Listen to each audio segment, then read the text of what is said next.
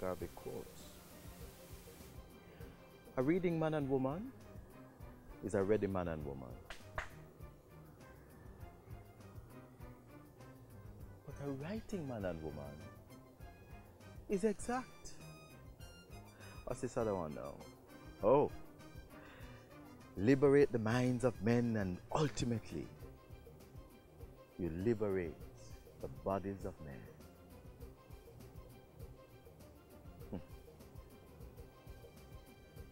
Oh, hello there. I didn't see you. You know, I'm enthralled by the words of our first national hero, the right excellent Marcus Mosiah Garvey. Welcome to the first in a series of programs leading up to the celebration of emancipation and the independence period. You know, let me tell you something. You see, on August 6th, Jamaica will be 53 years old. And guess what will be happening? We are going to be featuring a whole lot of programs that will inspire and motivate you. So what better way to start than right here at 32 Marcus Garvey Way right here in St. Ann's Bay, the birthplace of Marcus Garvey. You know what? Jamaica Magazine starts right now.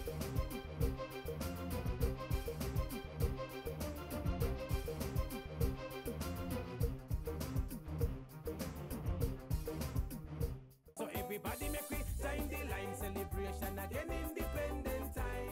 For Independence 2015, the Ranny Williams Entertainment Center is the place to be. From August 1 to 6, the Hope Road location will be transformed into an Independence Village. Come out every day at midday for lots of cultural fun and excitement. Lunch or concerts, cultural discussions, a kiddies village, displays with distinct Jamaican pieces, nightly entertainment, and food can done. For more information, call JCDC at 926-5726-9 or email library at jcdc.gov.jm. Independence 2015, proud and free Jamaica 53.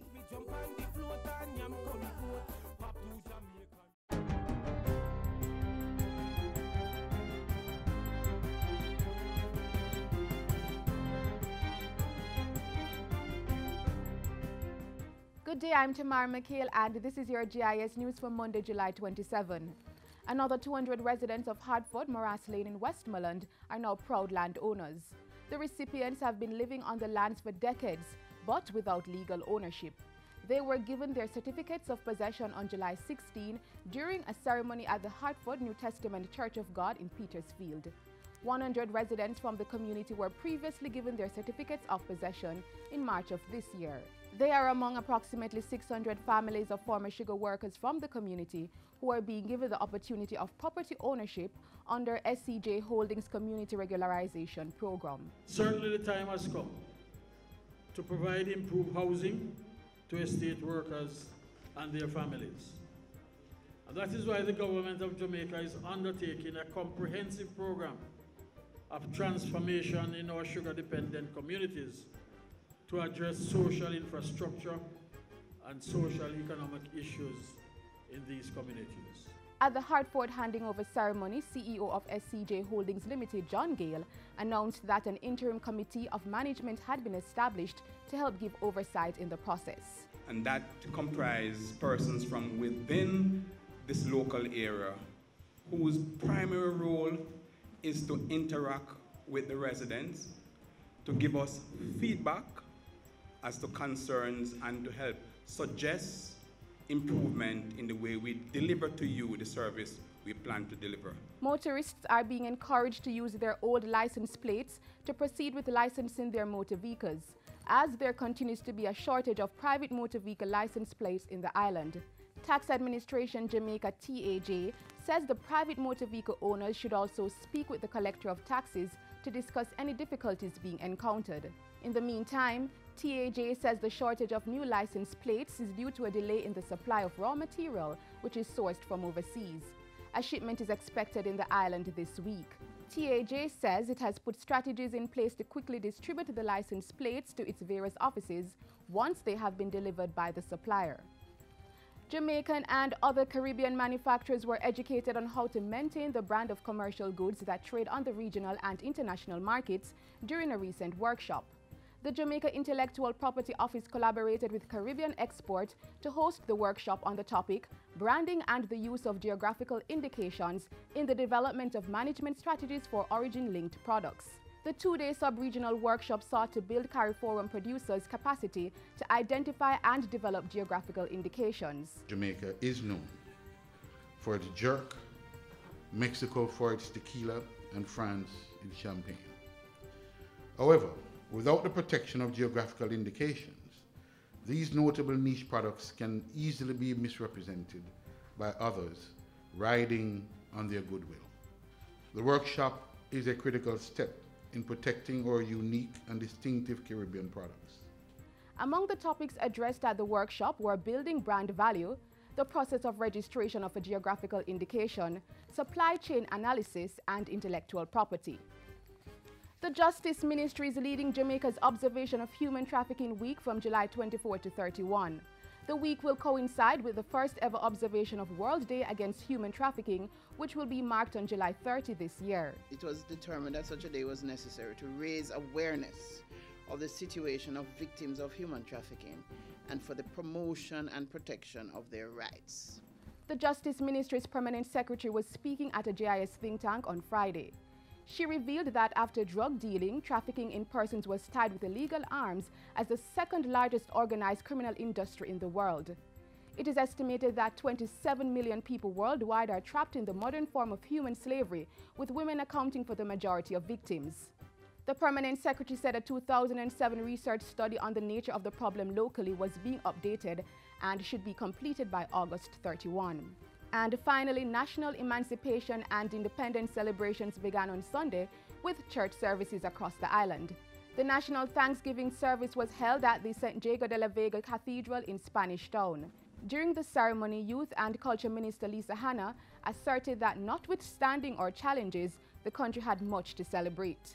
And so we must celebrate, and no one must make us feel apologetic for enjoying ourselves because we have a lot to celebrate this year.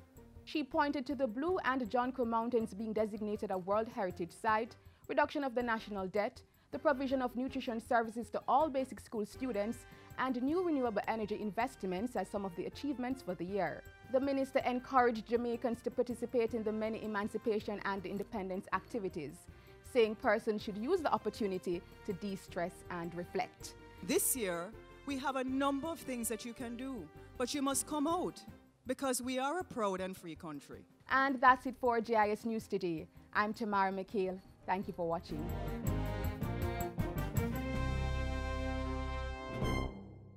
Let's celebrate Jamaica to the world. Fastest man in the world. First Jamaican woman to win gold in Olympic 100 meter sprint. An upcoming global superstar. Mouth watering meals. And a vibrant set of people.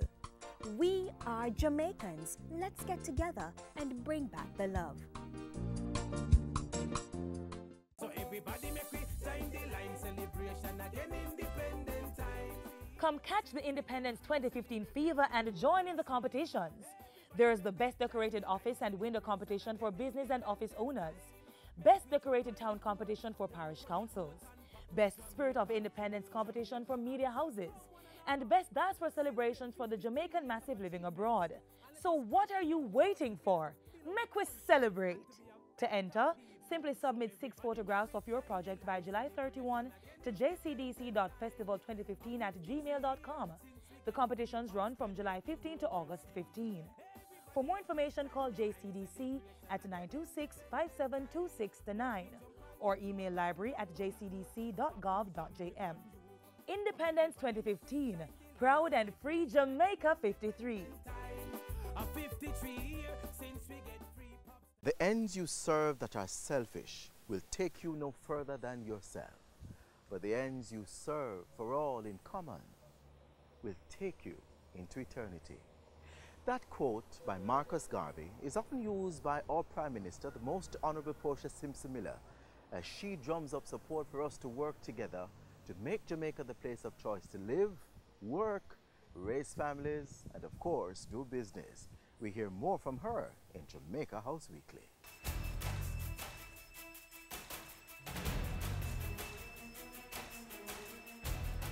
Prime Minister receives report on state-owned enterprises, new independent regulatory body formed, and congrats Reggae Boys. I'm Simone Wolf with Jamaica House Weekly.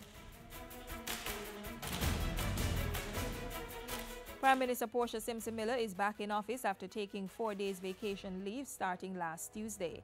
Mrs. Simpson Miller returned to office this past Saturday. While she was away, Minister of Water, Land, Environment and Climate Change Robert Pickersgill was in charge of the government. Before her departure, Prime Minister Simpson Miller met with a delegation from the Asian Development Bank.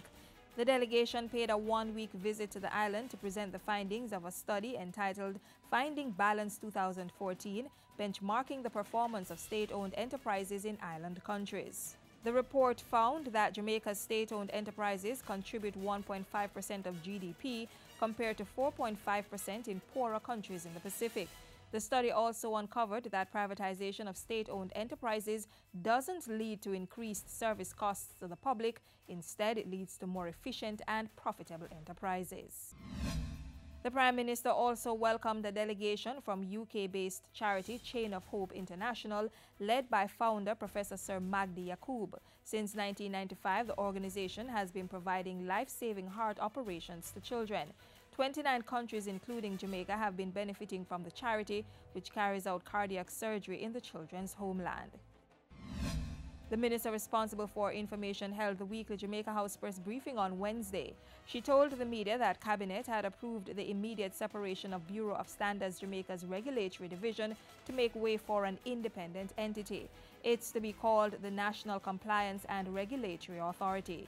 The new body will be responsible for registering processed food establishments, inspecting goods at ports of entry and in the local market, to ensure compliance as well as perform regulatory functions. She explained that the move was intended to correct an inherent conflict of interest in the BSJ's organizational structure. The conflict stems from the fact that the Bureau performs conformity assessments, sets standards, and then seeks to regulate the standards it has set.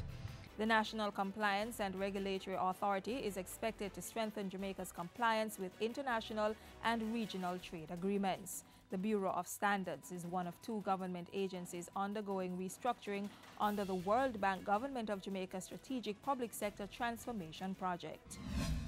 At the Jamaica House media briefing, Senator Falconer said Cabinet had also approved the participation of Phillip Paulwell in the 31st Annual Telecommunications Conference being held in Miami, Florida.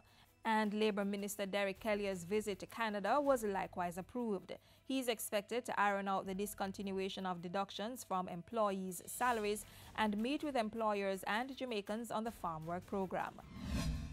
And Minister Falconer revealed that there were two new contracts signed in Cabinet. The first was a $49.5 million contract to rebuild the Harbourhead Bridge in Port Morant, St. Thomas. Construction is expected to be completed in six months' time. The second contract was to rehabilitate the Falmouth Main Road seawall at a cost of $50.7 million. That project will begin in August and last for four months. Minister with responsibility for sport, Natalie Neita Headley, congratulated the Reggae Boys on their historic win against the United States Wednesday. Minister Neita Headley said she was proud of the team's hard work and congratulated them on a job well done. The Reggae Boys' historic 2-1 win over the U.S. on home soil secured their place in the finals of the CONCACAF Gold Cup. The Reggae Boys, however, went down 3-1 Sunday in their matchup against Mexico. That's how we close today's edition of Jamaica House Weekly. Join us next time for the latest stories coming out of the office of the Prime Minister.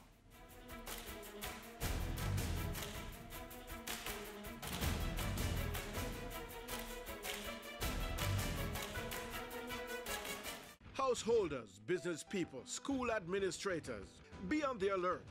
Help control the mosquito population. Destroy breeding sites. Empty old tires and all other containers where water can settle. Bore holes in old cans. Cover water drums and garbage cans. Wash flower pots and vases and clean pet dishes regularly. Protect yourself from mosquito bites. Cover your body as much as possible and use mosquito repellent containing DEET.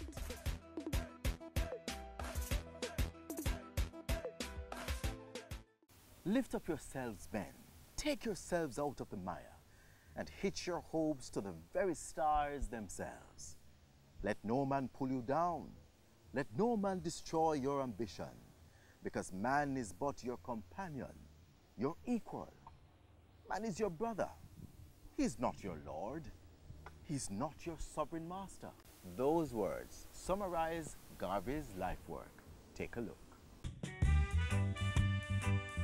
A people without knowledge of their past history, origin, and culture is like a tree without roots. No one remember old Marcus Garvey. No one remember. A boy of humble beginnings, taking his first steps towards a life decorated and defined by the search for a proud black identity.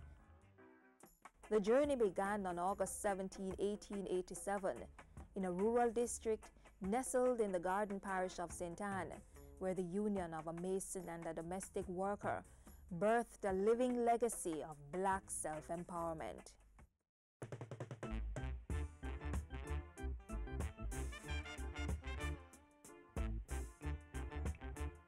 When you hear him describe his mother, um, Sarah Jane Garvey, she had a different kind of influence on him. I think that he inherited a lot of her sense of compassion. Marcus also inherited much from his father, Marcus Mosiah Garvey Sr. Together, his parents gave him a strong foundation, starting at 32 Market Street in St. Ann's Bay. The Universal Negro Improvement Association, the Pan African Movement, the Negro Factories Corporation, the Black Star Liner Shipping Company, all symbols of achievement to which Garvey could lay claim. But his life was more than the public platform familiar to most. Garvey was equal parts Pan Africanist and father, equal parts orator and husband, scholar and son, national hero and lifetime student. As a young boy, Garvey developed a love of reading, first from his father's private library, and later the more extensive collection of his godfather Alfred Burrowes. An apprenticeship with Burrowes at age 14 provided a platform for literary expression through the printing press. It's an influence that would find expression in several newspaper developments and publications throughout Garvey's life. Even as he trod the path of visionary, philosopher, and scholar, Marcus Garvey was a family man. After a long courtship, he married Amy Ashwood in a private Catholic church ceremony, followed by an elaborate public ceremony and reception at Liberty Hall on Christmas Day 1919. The union didn't last. But Garvey found love and family life again with his longtime secretary Amy Jacques. The two married in July 1922 and had two sons, Marcus Jr. and Julius. You can see letters that they, they wrote to each other when his sons were in Jamaica and he was in England. He has nicknames for them. Um, he speaks to them the same way a loving father would speak to any child. From the dirt tracks in a small rural community to a global stage promoting change, the Right Excellent Marcus Mosiah Garvey was the epitome of ambition. When you look at his background versus what he was able to achieve in a very, very short time period, you have to recognize that it was ambition that was driving him. But most importantly, he had ambition not just for himself, but for people of his race. He wanted black people to be liberated in every sense of the word, not just physically, but mentally, economically, socially, and so on. On June 10, 1940, a nation lost a hero, humanity lost a world changer. Marcus Garvey was finally laid to rest in 1964 in Jamaica after 52 short years. The man from St. Ann's Bay had given black people a new way of looking at themselves. He'd told them to embrace their identity, that they could achieve anything. Up you mighty race! Accomplish what you will!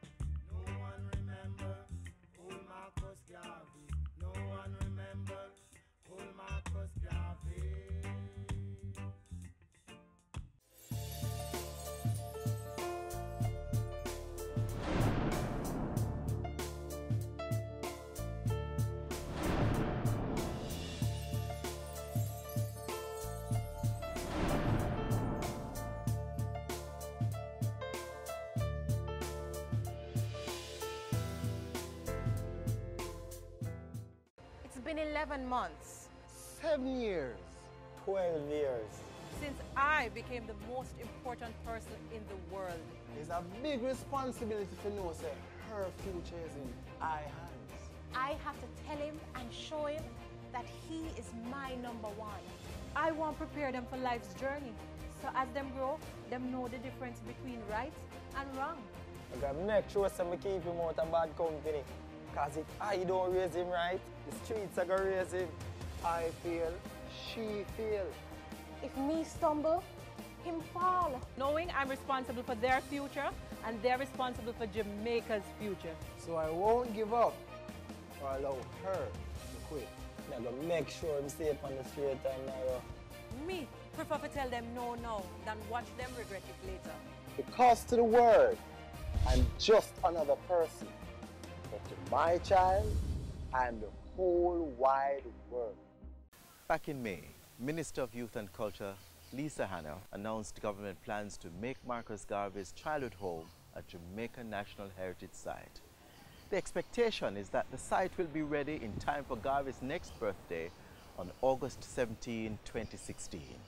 While you wait for that to come to fruition, check out these attractions.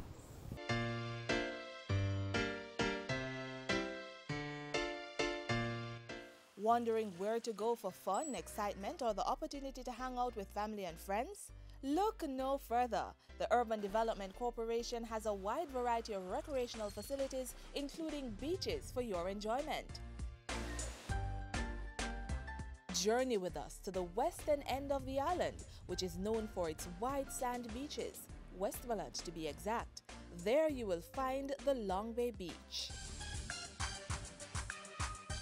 Long Bay Beach Park is found along Negril's sparkling 7 miles of white sand beach. Open daily from 9 a.m. to 5 p.m., the beach has picnic benches in the park and changing facilities. Visitors have more than 9 hectares of beach to enjoy at Long Bay Beach Park. On the north coast, the jewel of Caribbean waterfalls reigns supreme at Dunn's River Falls. Dunn's River Falls is one of the island's most outstanding natural treasures. It offers 600 feet of climbing pleasure for thousands of visitors and locals alike. The Dunn's River Falls and Park, which is a popular recreational spot all year round, is open daily from 8:30 a.m. to 4 p.m. In proximity to Dunn's River Falls is another of the UDC's managed and maintained facility, the multi-award winning Green Grotto Caves. This tourist attraction includes a guided tour through an active cave system. The experience is educational, historic, cultural, and a soft adventure. During the tour, emphasis is placed on protection of the natural ecosystem as the caves operate within the tenets of an environmental management system. The caves were the first worldwide and in the Caribbean to be awarded Green Globe certification. This certification confirms that the Green Caves maintain good environmental and social practices.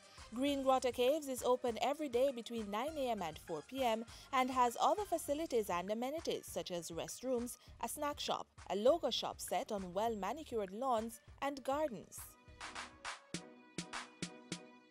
So, we showed you those breathtaking beaches and recreational spots along the north and west coasts. Now it's time to travel to the east. There, we'll explore the picture perfect Reach Falls in Portland. These pulsating falls are situated in a luxurious tropical park found along five miles above Manchioneal, a small fishing village. The attraction features a cascading waterfall, a picnic area, and a nature trail. The lush greenery of the montane forest and the refreshing pool beneath the waterfall promise a memorable experience. Reach Falls is open Wednesday to Sunday between the hours of 8:30 a.m. and 4:30 p.m. In Hellshire St. Catherine is the Fort Clarence Beach for the beach lovers. The 16 hectare beach park is a popular family fun day and picnic spot. It's also an ideal relaxation spot for residents of Portmore, Kingston, and neighboring communities. Our white sand, fish, and bammy and a clean atmosphere is one that guarantees the best beach experience.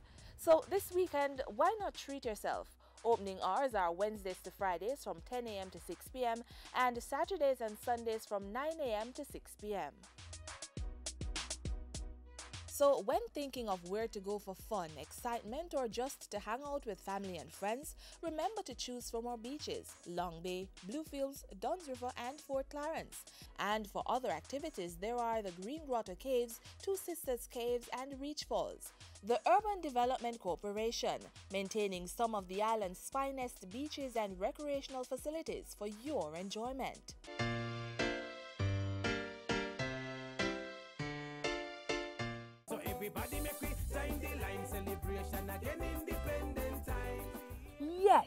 It's emancipation and independence time again. Between July 31 to August 6, lots of fun and exciting island wide celebrations await you. Independence concerts, community church services, festival bandwagons, street dances, and lots more. And guess what? Festival fashion is back. The theme bandana with denim, catch the fashion rhythm. So for this festival season, young, old, boy, girl, get your bandana and denim outfits and let's celebrate Jamaica in style. For more information, call JCDC at 926-5726-9 or email library at jcdc.gov.jm. Independence 2015, proud and free Jamaica 53.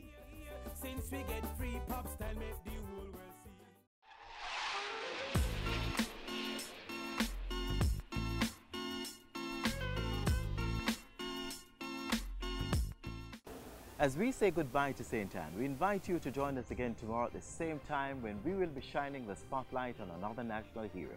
Here's a hint. This national hero called Cherry Gardens Great House home. You can kickstart your research by checking jis.gov.jm. To view this and other magazine programs in full, please visit our YouTube channel. And of course, we are also on Facebook and Twitter. And in the mobile app world, on behalf of the entire team here at the JIS, I'm Adrian Atkinson, thanking you for watching.